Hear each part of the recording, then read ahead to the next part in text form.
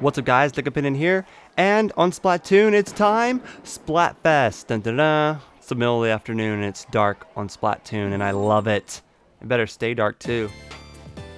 Oh, there's new music too. Nice, nice. Hey Colleen. What's going on today?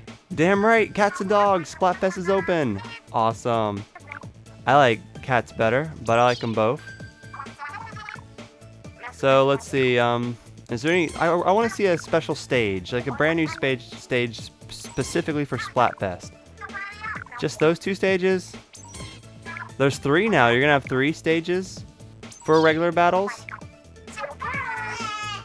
You hear my daughter in the background. She does the stay fly. She like heard it. I don't know how she heard it, but she heard it. So let's look around. Look at that. So fireworks are going off. It's nighttime. Shit's hitting the fan. Oh, that looks so cool. Excuse my language. I don't mean to cuss. I don't think that's a cuss word, but excuse my language if you're offended by it. And uh, let's see. The Splat Girls are up there dancing. I wonder what those trucks were there for. I saw them yesterday. I was like, what are the trucks for? I really doubt I can get up there. Alright, so far so cool. And of course, I voted for cats. I mean, I like them both. It's a cliche thing. If you, if you like cats, I'm sure you like dogs. If you like dogs, I'm sure you like cats. But it's all good. Is cats actually up dancing? You have anything interesting to say, kitty? No, just about the Chargers. Well, okay, little kitty cat. That's okay. Let's see what else they have cool. I don't think there's anything else new. I don't know. That's kind of cool right there. I like how basically they take everything that anyone ever says and just post it on the walls, post it in fireworks, post it in the levels. So let's see, if the girls are up there dancing, that means they're not in the window. I wish I could go in there. I want to go sit down in the window.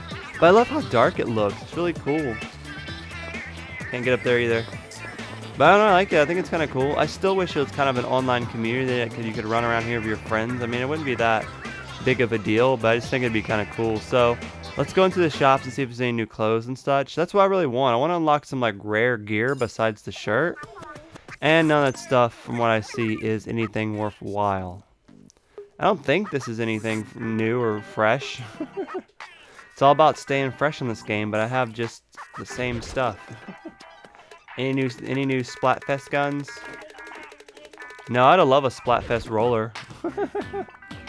no new shoes. No? Oh, that's kind of sad. I wanted some new stuff. Same old shirts. I wish you were able to like buy the dog shirt. I want the cat and the dog shirt for my Splatfest, but I guess you can't. So let's go uh, check out what modes they have and how different it looks. I think uh, I think I'm just going to show off the plaza and how different it looks for you guys and what's different and new here for Splatfest. And then I'm going to show off the levels individually because it seems like they're dark and they're like more just, you know, set up for Splatfest. So yeah, at this point it's only Turf War and Splatfest battles with the three maps. So that's cool. I'm going to cover all three of these maps in the next video. Let me know what you guys think about Splatfest. And get out there and start painting. Have some fun. Have a great 4th of July. And I'll talk to you guys in a little bit in the next Splatoon video.